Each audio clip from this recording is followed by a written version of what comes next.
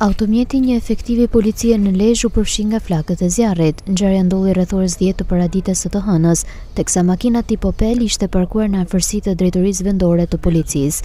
Kanë qenë banorë të zonës, të cilët kanë konstatuar flakët dhe kanë njoftuar menjëherë zjarrfikësit. Këta të fundit ndërhynë dhe bënë të mundur shuarjen e flakëve, pa u përhapur tek automjetet e tjera që ishin parkuar aty pranë.